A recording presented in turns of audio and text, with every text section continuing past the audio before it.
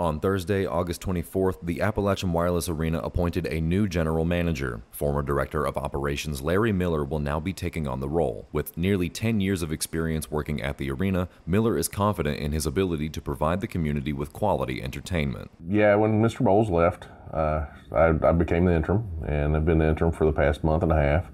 Uh, the city made the decision yesterday to uh, fully promote me to the general manager position and very thrilled, very thankful to the mayor and to the to the uh, commissioners for that. It's a it's a great opportunity. Been here for a while since 2014. Started off as the operations manager, then the director of operations, and then the assistant general manager. So it's been a it's been a long ride here.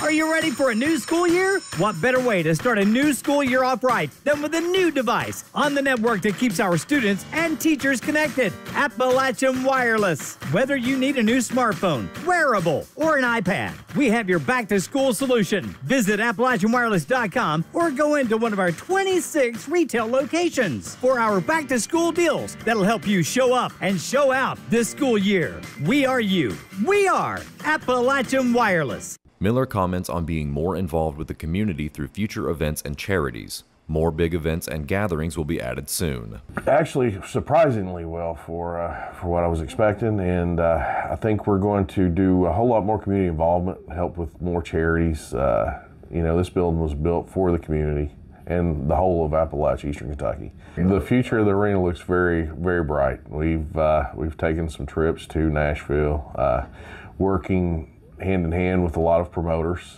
uh, promises, and confirmation of some very large shows that are coming through. So nothing stopped, everything's rolling.